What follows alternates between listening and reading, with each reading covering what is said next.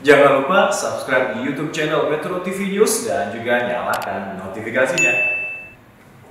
Selamat sore pemirsa, Anda menyaksikan Headline News pukul 14 waktu Indonesia Barat. Video dugaan penganiayaan narapidana viral di sejumlah media sosial.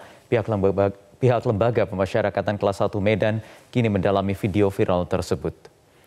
Video yang beredar memperlihatkan seorang narapidana menangis meringis kesakitan saat menunjukkan memar yang terjadi di sekujur tubuh, seluruh bagian tubuhnya. Dalam keterangan video menyebutkan bahwa peristiwa pemukulan terjadi di dalam lembaga pemasyarakatan kelas 1 Medan, Sumatera Utara.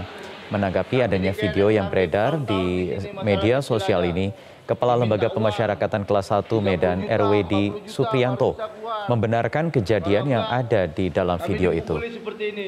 Video tersebut diambil di salah satu blok hunian strap cell yang ada di lapas oleh salah seorang napi.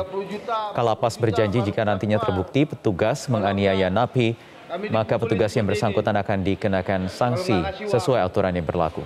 Ini Pak, siapa nanti tindakan Bapak ini?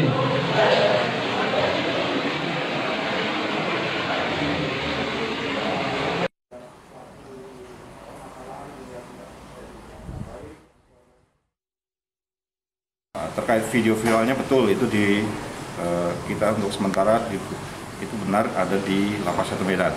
Namun pada saat ini kami sedang melakukan pemeriksaan lebih lanjut terkait video tersebut uh, baik oleh tim dari lapas maupun dari kantor wilayah ya terutama dari divisi pas untuk memeriksa atau melakukan uh,